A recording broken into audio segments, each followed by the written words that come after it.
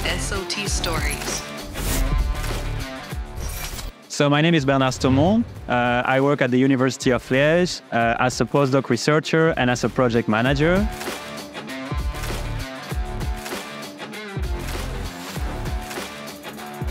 The take-home message of, um, of my presentation is that uh, in the ONTOX project and in general, we collect a lot of data, uh, a lot, a lot of data, and it's really important to uh, annotate them, to curate them properly, so that they can be used by many labs around the world uh, in a proper way.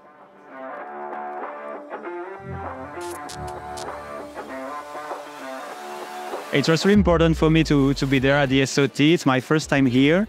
And I think it's really important for our research group also because we are quite new in the field of toxicology. So for us, it's really great to interact uh, with people here, to network, uh, to, to learn a lot because it's maybe not our first field and it's a great experience. I got really interesting feedback after the presentation. I was part in a workshop session.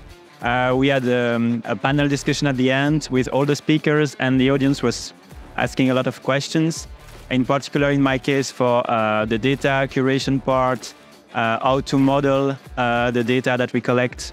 And yeah, it was really great to have this insight also from, from the audience here uh, at the SOT.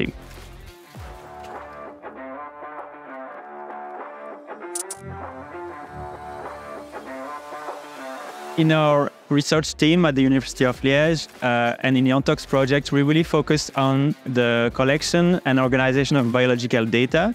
So we produce what we call physiological maps, so basically graphical representation of the biology.